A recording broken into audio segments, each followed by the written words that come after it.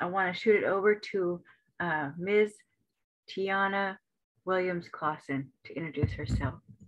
Welcome, Atlama. Thank you, Kate. Allow for the invitation to be here. I'm so honored to, to talk today.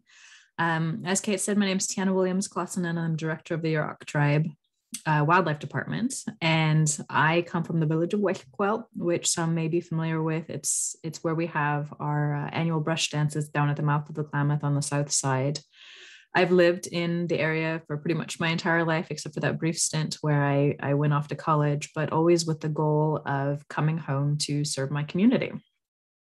So I'm going to go ahead and try and share my PowerPoint.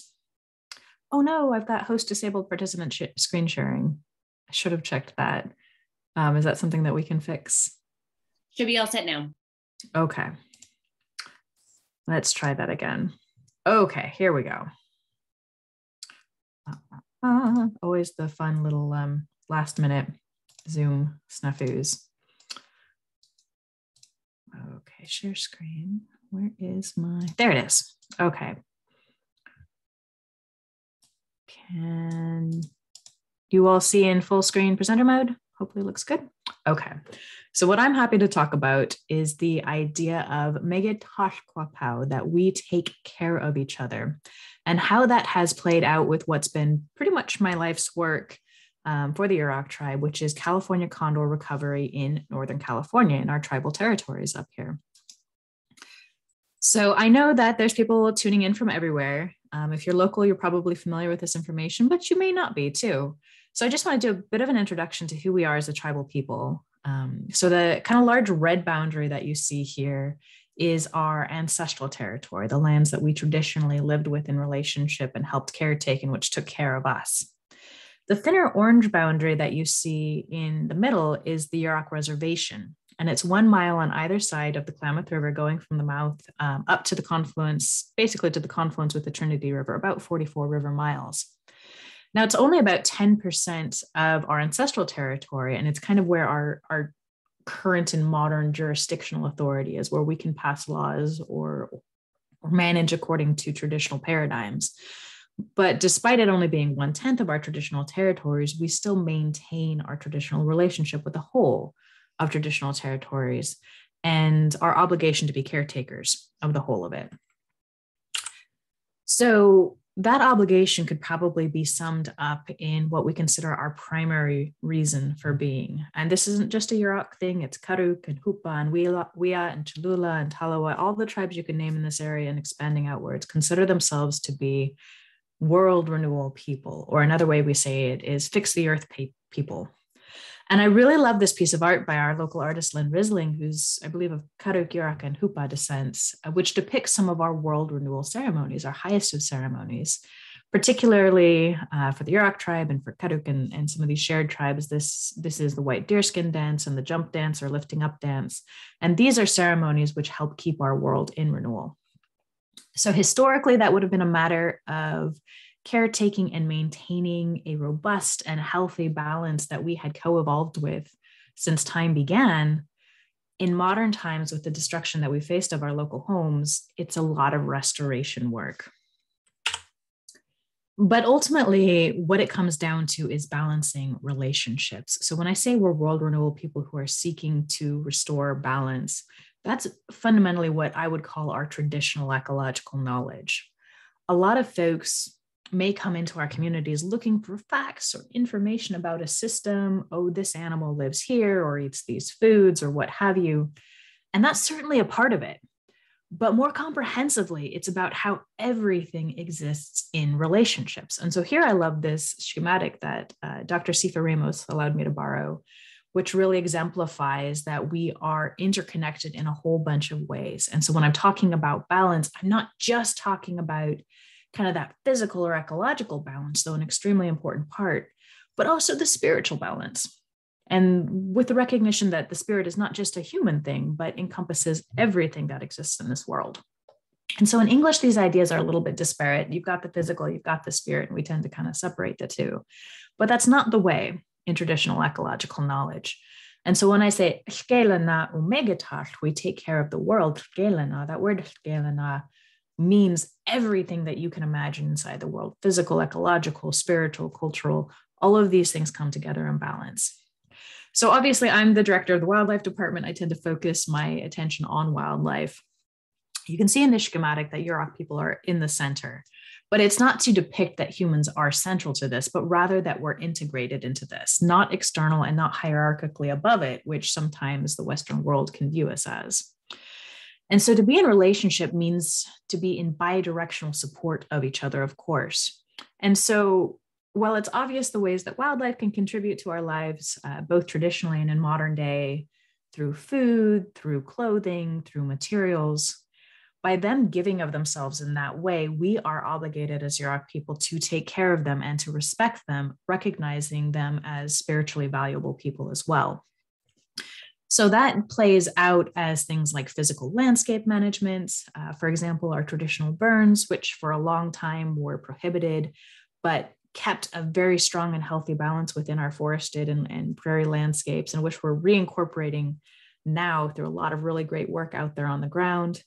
It meant that when we harvested animals, we did it according to cultural protocols that recognized their value as equal or even sometimes um, I guess I would say wiser or, or perhaps better people than we are, always respectfully, always making sure to utilize things in the appropriate way and fully so that they their sacrifice is fully recognized. But then both of us contributing to the spiritual well-being as well. They through the spirit that they contribute to our regalia, us through these ceremonies that we dance to keep the world in balance or our own selves or themselves in balance all kind of mixing and melding into this very complicated web where everyone has a role and a responsibility and meets that need. And so that is what I'm going to talk about now, specifically how Condor or Preganish in the Yurok language ties into this integrate, integrated web. And so I'll say in Yurok belief, Condor is one of the highest of the animals in a couple of ways. Uh, one being, I would say, spiritually speaking, because he's considered to be a very strong and kind hearted and powerful spiritual being. And that's the kind of energy that he brings to our world renewal ceremonies. Um, so our relationship goes back to the beginning of time before humans were really even the people of the world, you might say, when it was the animals or the spirits of the world who were designing how we would move forward in balance. And so they developed these world renewal ceremonies at that time to which Condor actually gave a song which carries his spirit, um, for which he provides his feathers and through them his spirit to the dance. Um, he actually flies higher than any other animal in our region. And so we believe that he can soar the highest. And so we figured that was the one to get our prayers to heaven when we were asking for the world to be in balance. That's according to Richard, Richard Myers, who's a former Yurok councilman and cultural leader. And so many Yurok families, like myself, teach that he's never to be harmed and any feathers are considered to be gifts, though different families teach different things. But he actually went extinct locally well over 100 years ago at this point. And so there's been a very deep ecological and cultural hole in the Yurok world and for many of the tribal peoples around us who also consider Condor very sacred in and of himself, he's just a super cool bird. He's actually the largest land based bird in North America with a wingspan of nine to nine and a half feet. He can weigh as much as 25 pounds and he has a very long lifespan. Um, we actually don't know how long they can live because we haven't been studying them long enough. But based on birds living in captivity, birds we've seen in the wild, and their, their cousins, the Andean condor, we would expect at least 60 plus years for condors in the wild.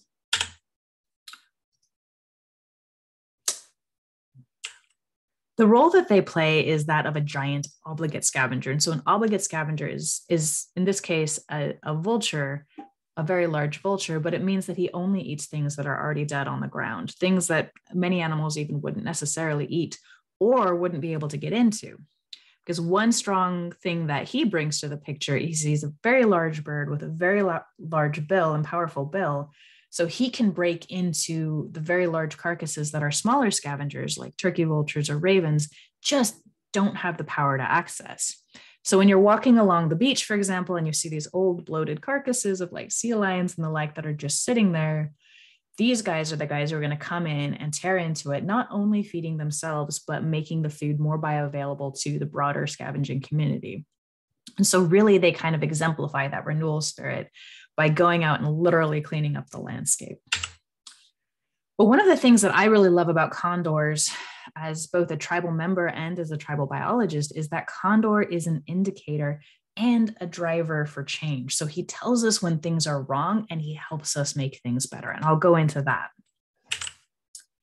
But for a little bit of history and what and kind of the context of this, he's a very adaptable bird. He actually lives in a huge variety of, of different sorts of ecosystems. And prehistorically, 20,000 years ago or so, he went all the way up into what's now British Columbia, down into what's now Mexico, across what's now the United States, and up into New York. So he had a very expansive range. By the time that the 1850s rolled around, there was a lot of new pressures on the birds, and their range had shrunk to kind of this brown shape that you see here, still going up to British Columbia and down to Baja California, but much reduced towards the west, uh, mostly existing just on the western coast by the 1950s, their range had shrunk to just this red wishbone that you see in central California. And in fact, their decline was so bad that by the 1980s, there was only 22 individuals left in the entire world, making them pretty much the most endangered bird species out there at the time. And unfortunately, that had to do, as many of these things do, with human impacts. So, particularly on the West Coast, particularly for us after the California gold rush, there was a lot more human impact than, than tribal people could have done on their worst days, even. There's a huge influx of more people. There was an entire shift in how people integrated with wildlife in the system. It was very extractive versus relationship based. But so things that impacted condors included reduction in megafauna, so those those kind of large game that they rely on, um, so deer, elk, bear, whales, and sea lions. Uh, there was direct human take where people would kill them for profit or because they thought they were cool or because uh, they were scared of them. Very large bird. People had this idea that they could pick up your kids and fly away, which they absolutely cannot do. Uh, there was habitat loss as people um, saw the land as something to get resources out of. For us locally, that meant the loss of our old growth redwoods, which they relied on for, re- for new st- roosting and nesting, and the loss of our prairies, which we had maintained since time immemorial. And that, along with the coast, being their primary uh, foraging sites. There was poisoning, where people would put out carcasses for carnivores that they didn't want, like wolves or bears, but condors would eat. And there's three issues which remain an issue, which is micro trash. You can see a picture of that off on the far right. That's those little bits of metal and glass that just kind of seem to end up everywhere, plastic. Um, they're finding, particularly with birds in the wilds um, post reintroduction, um, that they would go and find these little bits of glass and metal and actually feed it to their chicks. And we think that we think that they were thinking that they were feeding their chicks bone chips, which is a very natural sort of thing. But then the chicks would ingest it, their, their systems would get impacted, and without intervention, they would die.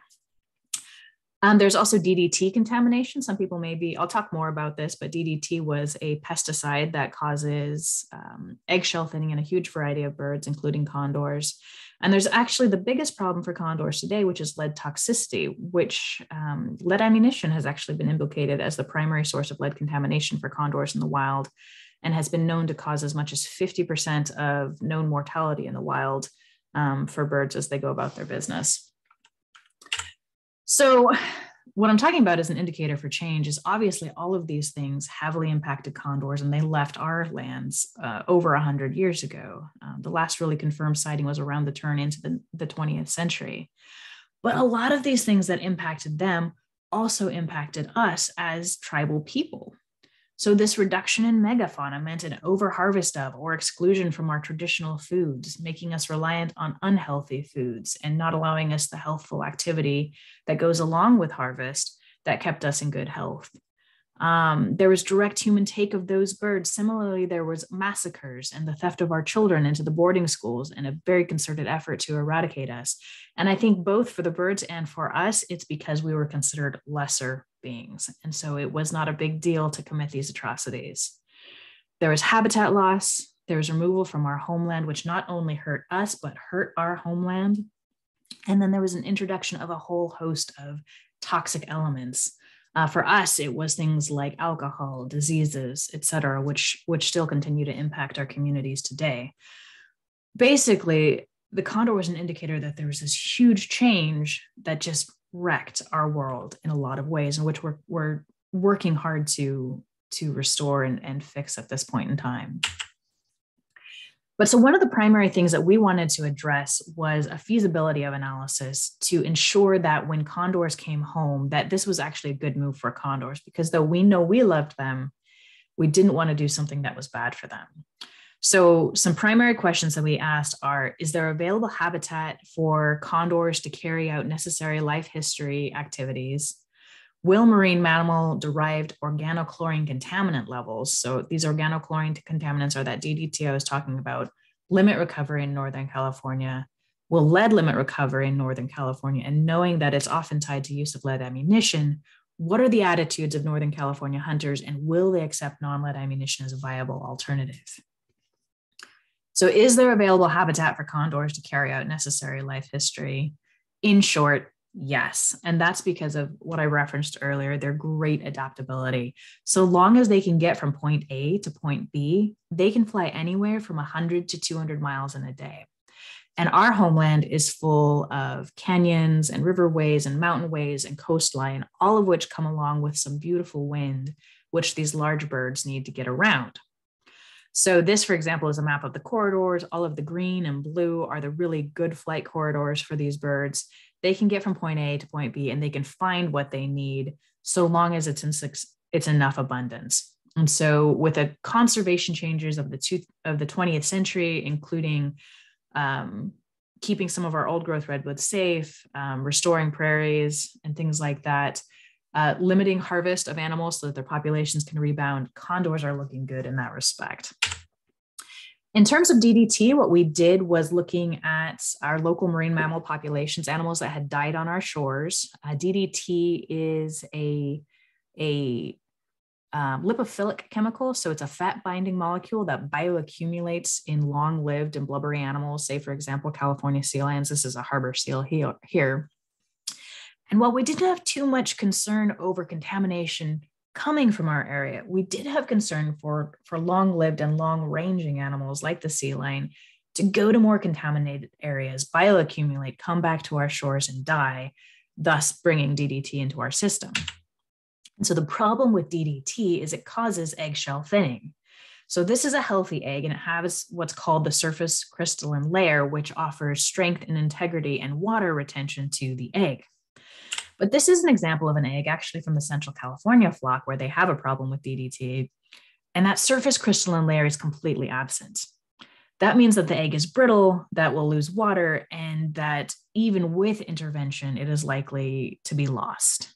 So that impinges on their reproductive capacity. Now, something I didn't mention before is that condors actually only have one chick every year. They form lifelong pair bonds they are really good parents and they put a lot of attention into making sure that their their young survive. But when you have low reproduction because of this sort of thing and you can only have one chick every two years every egg lost is a really big deal when it comes to overall population health. The good news for us is that there's a very clear downward trend in contamination if you go from south to north so if you look at that blue bar in the middle, that's actually Central California, where they do have something of a problem still. The good news for them is about 50% of their eggs survive without intervention. So they are on the upward trend of positive reproduction without intervention. And DDT was banned for use in the 1970s. So that's only going to get better. We're about four times lower than they are in terms of DDT. I can't say that means we won't have a problem, but I'm very hopeful that if we have a problem for reproduction, it's going to be very minimal. So that was great news. The last and the biggest issue is lead contamination, which I referenced before. And so this is actually an example of a deer that was harvested with lead ammunition. And while very effective, it's the way that lead ammunition works um, actually kind of, uh, I don't want to say infests because that seems like too strong of a word, but the thing about lead is it's a soft metal. And so upon impact with an animal, it will actually break into hundreds of pieces. And all of these little shiny bits you see here is remnants from a lead bullet, specifically a seven millimeter Remington mag, um, lead core, lead tip, 175 grain uh, ammunition round. There's actually 547 fragments of lead counted in this radiograph, this X ray alone. And a piece as small as the head of a pin is enough to kill a condor. They're messy eaters, you know, they're not going through and picking out these little bits of lead. And even some of it is just micro dust So they couldn't even if they wanted to. The problem is when this stuff gets into a gut pile that a hunter will leave behind. And this is completely unintentional on the hunter's part gut piles are actually a really important way that hunters contribute to our ecosystem, especially with the imbalance of carnivores that we see these days. We are an apex predator and we provide food for scavengers. The problem comes when they've been uh, filled with this lead contamination, which is so toxic, not only for condors, but for things like bald and golden eagles as well. So it's, it's a much broader ecosystem problem. And as we somewhat expected, we did see a problem here because it is the most conventionally used material. And so the way that we looked at studying it was through um, assessment of local scavengers who still lived here, the turkey vultures and common ravens who eat a similar diet to condors to see if they were getting lead ingested. And so we're the bar on the far left there. And so 24% of our turkey vultures were found to have elevated blood levels at a level that would be harmful for a condor. So if you look at this graph, our bar is specifically for hunting, or excuse me, for birds tested outside of the hunting season. And the two bars to the middle and to the to the right are actually a similar study that was done in Mendocino, in which they did both inside and outside of deer hunting. And so the red bar in the middle is outside of deer hunting. So there's no lead ammunition theoretically being added to the system. The one on the right, that's much larger, almost doubled, is lead contamination in their turkey vultures during the hunting season. So there's a clear increase that correlates with lead ingestion for these birds within the hunting season, indicating that probably lead is contributing to lead ammunition uh, for hunting is contributing to our problem. So the good news here is that we had 24% of our birds contaminated compared to say 36% outside of the hunting season. So it's it's continuing to be a problem outside of the hunting season, but less of one. But the 24% is actually lower than any place else studied with turkey vultures. But the fact that hunting was still being a problem in our area um, is shown by this graph. You can see on this side, where on the right, the orange bar is the non-hunting season and the, the blue bar is the hunting season. And this was a study done in common ravens. Now we couldn't do the inside of hunting season and outside of hunting season with the turkey vultures because they're migrating during the hunting season. So any contaminant analyses you do there, you don't know if the birds are actually picking it up here or from someplace else. But ravens are non migratory, and we saw a very clear increase in lead contamination again in the hunting season, which led us to develop what we called our Hunters as Stewards project. Originally, really focusing on our tribal communities because hunting is such an important part of our way of life, both as a way to be in relationship with wildlife, but also to feed our families. And the idea behind Hunters as Stewards, um, which eventually expanded to the much broader community, is to reach out to the deep conservation ethic that many hunters have because they're the people who want to be in a healthy and abundant ecosystem. They're the people who enjoy the outdoors. Let them know what the issue is. Let them know that there's alternatives, non lead ammunition, primarily copper, and answer any questions that they may have and, and ask them to join in partnership with Condor Conservation by making a voluntary switch to non lead alternatives. And we had an amazing amount of success in the work that we've done so far, with anywhere from 85 to 95% of the hunters we talked to being willing to make the switch once they learned about this because many of them had no idea that this was an issue so coming being a hunter and coming from a hunting community um, that didn't surprise me a ton, but it was still really encouraging to see that there were so many people who were willing to partner um, for condor conservation. If anybody's interested, there's a really great website, huntingwithnonlead.org, that has the science and the conservation and you know a lot of facts for hunters. How do you make this transition as well? And that's one of the primary ways that we ask people to help condors is if you're a hunter or there's hunters in your families to make that transition to non-lead. But so we took this kind of partnership building approach from the very beginning with a whole host of folks, because as you'll remember, they can fly as much as 200 miles in a day. So it's not just us who's going to be managing condors.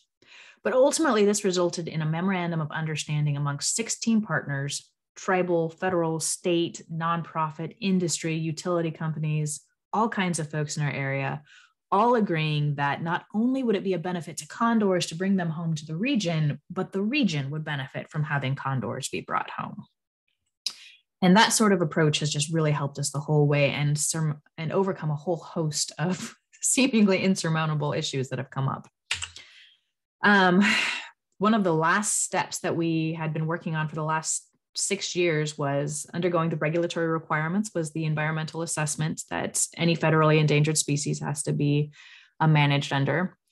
Um, but also we're looking to release them with our on um, redwood national park land and so redwood national state parks has been a huge partner since the very beginning. And so we'll actually be releasing them into redwood national park land within yurok ancestral territory. And because it's a federal landscape we have to do this ea as well took a really long time. It took six years to get through this, but we finally got what's called the finding of no significant impact in March of 23, 2021, which was kind of our um, our go ahead to get started on this project.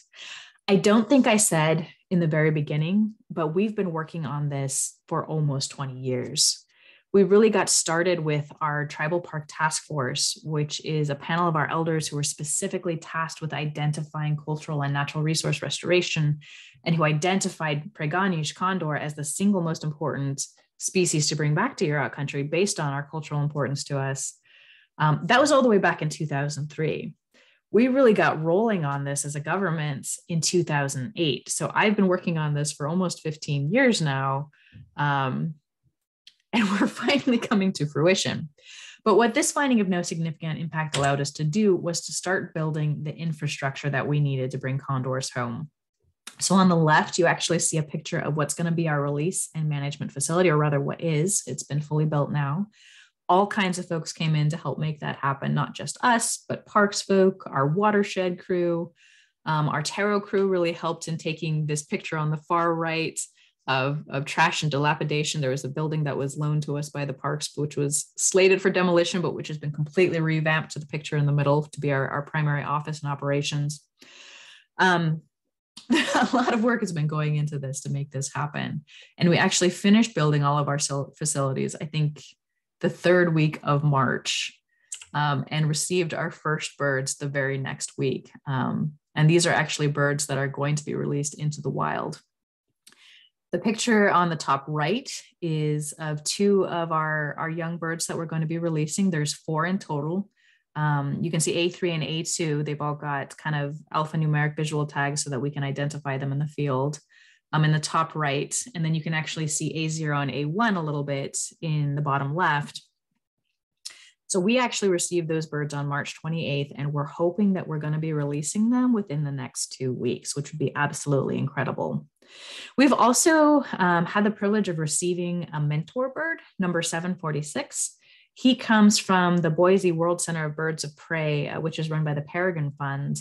And he's an adult bird who unfortunately can't be released. Um, so when condors went into their population nosedive, there's actually a really at the time controversial decision made to bring all birds into captivity in the hopes of starting a captive rearing program, and, and revitalizing their population. It was actually wildly successful, um, deeply managed because we were down to just 14 genetic lines um, by the time we brought these birds. So every single bird is managed for its lineage, um, even to today. Um, and, but which ultimately resulted in these sort of releases happening. So there's existing release facilities in Central California run by the Ventana Wildlife Society and Pinnacles National Park. There's a release facility in Southern California run by the US Fish and Wildlife Service, and there's a release facility in the Arizona Utah area run by the Peregrine Fund. We're going to be the newest of those in 19 years. But so our birds actually are juvenile birds. They're about two to three years old, fully flight capable, but they come from these captive rearing programs. And um, I've actually never been out in the wild. And so this mentor bird, long story long, um, he can't be released because he's actually very genetically valuable. He contributes to keeping the population going. And so after he leaves us, he's going to return to Boise and, and become a part of the breeding population. He's just now old enough at, I think, eight years old. But while he's here, he's going to teach our young ones kind of those last finishing touches of what it means to be an adult condor, how to interact appropriately with each other, how to respond to things that might be frightening, um, when to be calm. They're taking their cues from him basically to kind of get that last bit of comfort level before we release them out the door.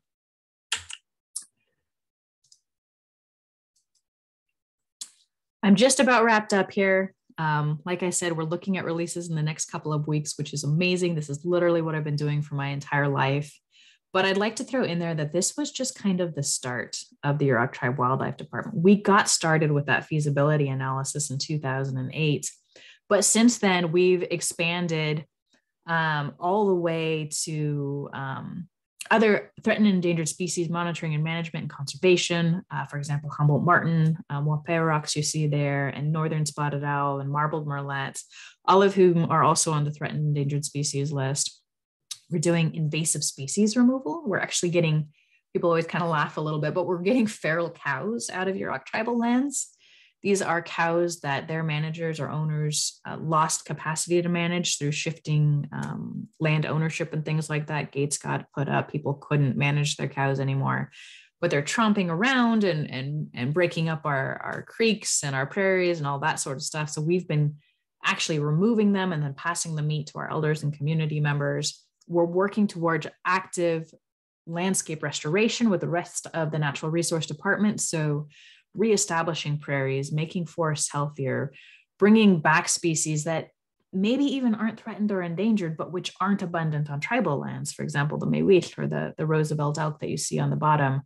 And we've gone from what was a two person crew of myself and our, our now Condor program manager, Chris West, to now a crew of about 16, uh, meeting a diversity of restoration needs for our region. And Condor was the starting point for that.